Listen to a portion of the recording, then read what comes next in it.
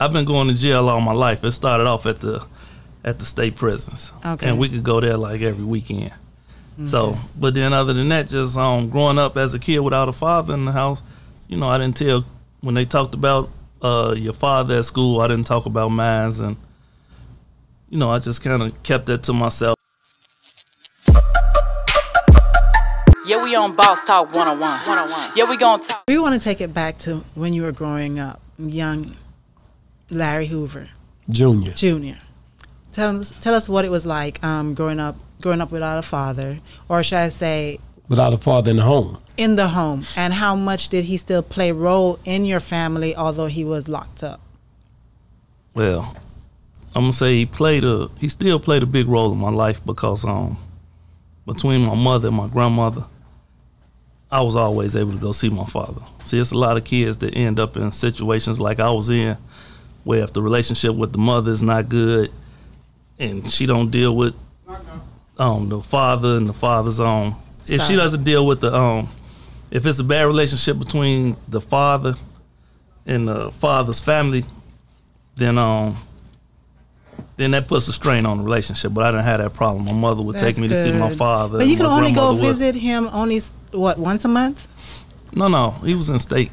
Okay, at that so time. I, I've been going to jail all my life. It started off at the at the state prisons, Okay. and we could go there like every weekend.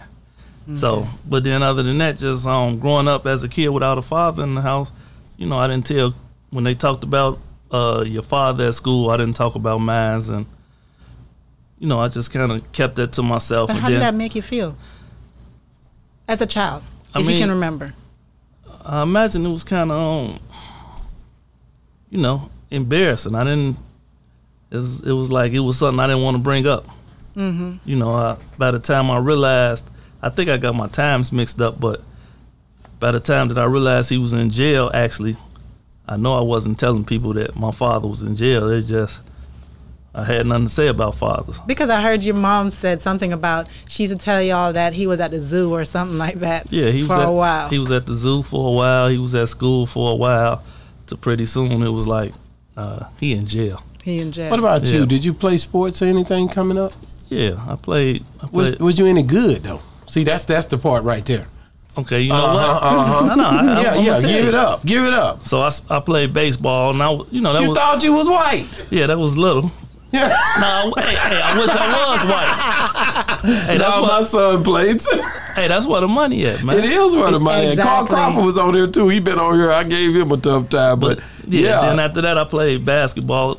That that's one of the times where I wish my father was there to give me the courage to just go out there and Mm-hmm. you know not let nobody talk me out my game.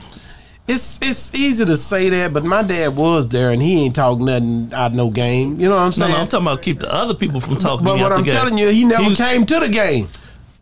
You and, see, he, and he wasn't locked up. I'm talking about my dad was not locked up. Hey, but he from- ain't give me nothing out here. You know what I'm saying? But from the understanding that we have, and it could be from the separation. There you go. I think my father. He probably would have came. He might have came. Well, to the maybe game. my daddy need to be locked up, and then he probably would have came to the game. You know, you know, because it do make you think different when you go through stuff Yeah. versus people who never have had to go through that. It make you think deeper Mm-hmm. about things that you. It really make you understand the things that you really should be loving on. You understand what I'm saying? Yeah. Versus you just out here doing whatever, think, taking life for granted. See, he has to go through these situations through. He has to live them throughout. That's telling right. him about them or what have you. So, at least from where he's at, he says that he, you know, he wish he could have been there. Definitely, definitely. I know I believe him because, like I said, when you sit down and you have to think about things that's really happening and with a clear mind and understanding, it, and you have the time to do that, then yeah, of course, when you if you had an opportunity now, you do it right. Yeah. I agree with that hundred percent. So, um, just like when you when you were playing basketball and you was you come off the bench, no, He's like, no, I've Hey, hey, always yeah. been a starter. No, no, no. You got me. Yeah, you got me. I ain't gonna sit here and say I was a superstar. and you know you, You know. get the you, you get a little bit of you know the ball in your hand Hey, and hey, I'm- you nervous because you got to shoot it because you don't know what's gonna happen if you shoot it and miss. You know, go No, I played in grammar school. Then when I went to high school, I made the team. Built your confidence up. Then grades came out, There it is. and I was off the team. Ineligible. My friend, his, his father got on top of him. I didn't know you could get your grades up and get back on the team. You just gave up. I started hanging on 79th Street from there. I wasn't trying to play basketball. Wow, 79th Street. You know, uh, you know, being that you came up in a town where the GDs and the Vice, all these people had, And everybody knew you were dad. connected. Uh, if you wanted to be, you had to be. Your name said it all. Uh, you were maneuvering out there uh, and not having to deal with that, or how did you? How did you? When you step out and, and those opportunities presented presented themselves Right. to you, uh, how did you avoid them, or did you avoid? Did you take them head on? All right, early on in life, I was aspiring to be what I saw. Yeah. You know, Were you the oldest child?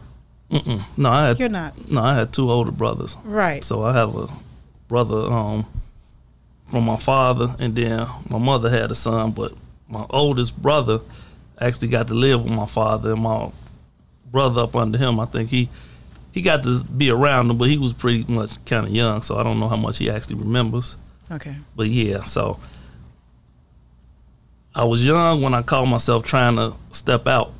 My best friend, and um, I just say that um, he gave his life to save my life. Whoa. Not that I was there, but when he got killed, that's when I said, "No, I don't want to be He was out here. I don't want 17, to do this." 17, right? I think I heard you say. Mm, he was about. I know I was like around sixteen. He was maybe eighteen, 18, somewhere okay. in there. Yeah. And and and how, he, he got shot, gun violence. Yeah, he got shot. He Yeah. got shot over simply um some guys rolled past and you know it's disrespectful. You know, you see what all the young guys do, they drop the everybody drops the forks on the videos because they just have a real something against GDs or what have you. So that's what happened. The guy dropped the forks and then he dropped the five and the guy parked and got out of his car and you know he went to the trunk but my buddy he was too tough to um lead the situation. Wow. He got a lucky shot and shot him in the heart from across the street with like a 25. Wow. Ah, damn. Yep. Man. Um, But you know, sorry to say, but they say you know everything happens for a reason. Because if that didn't happen, you'd still be Yeah. I don't know what my life would have went at that point. right. Yeah. I mean, you you got to understand, man. It's it, you know things happen, man. I lost my best friend, mom, all type of stuff happened in a, in a, within months. You know, um, it just I think that's the way he does get your attention. You know, the man, the big man, he gets your attention by letting you go through certain things and experience certain things, and it pulls you to a certain place. You know, um, And also that, you know, that made my father look at things a little different with trying to make sure I was doing the right things. You know, it made him worry about me when he seen somebody that was that close to me at that age. Plus, my father, he had met my father, so okay. yeah. So, Yeah. did any of your siblings um, fall in that situation? Ended up like on the street or anything like that? When she say on the streets dealing with the with, with gangs, Yes, with gangs and think. situations. Um, I'm gonna say my older brother was more, you know, he kind of grew up more towards the streets. Okay.